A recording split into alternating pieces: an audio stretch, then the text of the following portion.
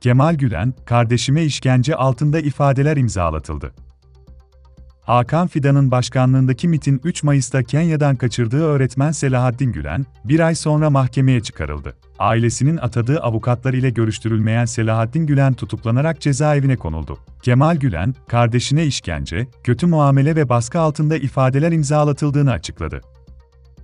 World Medya'da yer alan habere göre, MİT tarafından 3 Mayıs'ta Kenya'dan kaçırılan kardeşi Selahattin Gülen'le ilgili sosyal medya hesabından açıklama yapan gazeteci Kemal Gülen, kardeşine işkence, kötü muamele ve baskı altında ifadeler imzalatıldığı duyumunu aldıklarını söyledi. Gülen, hukuka, usule, kanuna ve vicdana aykırı bir şekilde alınan ifadelerin masum insanları karalamak için kullanılacağı endişesi taşıdığının altını çizdi.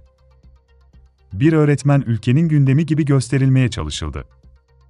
Twitter hesabından, kardeşim Selahattin Gülen ile ilgili son durum başlığıyla yaptığı paylaşımda Kemal Gülen şu açıklamayı yaptı. Kardeşim Selahattin Gülen maalesef tutuklandı. Kenya'dan kaçırıldığı gün olan 3 Mayıs'tan itibaren kendisinden haber alamamıştık. 31 Mayıs tarihinde Ankara Emniyetinde olduğunu öğrendik. 5 gün terörle mücadelede gözaltında kaldı ve bugün tutuklanarak cezaevine konuldu. Üzgünüz. Siyasetin arka bahçesi gibi davranan bazı gazeteciler ve devletin resmi ajansı başta olmak üzere birçok medya organı, iki gün boyunca yalan beyanlar üzerinden haberler yaptılar, sıradan bir öğretmeni ülkenin en önemli gündemi gibi göstermeye çalıştılar. Maat teessüf, medya baskısına boyun eğen adli makamlarda zalim siyasetçileri ve malum gazetecileri sevindirdiler, milyonlarca masumu üzdüler.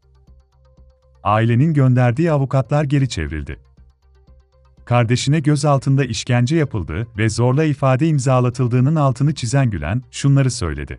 31 Mayıs'tan itibaren Ankara Emniyeti bizim yönlendirdiğimiz avukatları maalesef geri çevirdiler. Avukatlarımız kardeşimle görüşme fırsatı bulamadılar. Polis ifadesinden sonra mahkemeye çıktığında da ne yazık ki seçili avukatımız huzura alınmadı. 28 gün boyunca kendisinden haber alamadığımız kardeşim Selahattin'in işkence, kötü muamele ve baskı altında ifadeler imzalatıldığı duyumu aldık. Hukuka, usule, kanuna ve vicdana aykırı bir şekilde alınan ifadelerin masum insanları karalamak için kullanılacağı endişesi taşıyorum.